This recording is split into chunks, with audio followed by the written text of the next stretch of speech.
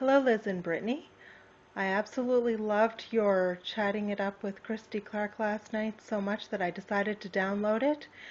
Christie Clark and Patrick Muldoon were absolutely hilarious. You guys were spectacular. I want to tell you to keep up the good work. And I'm definitely going to be listening next week when you have Ian Buchanan. I am so thrilled for your success. Have a lovely evening, girls. Bye bye.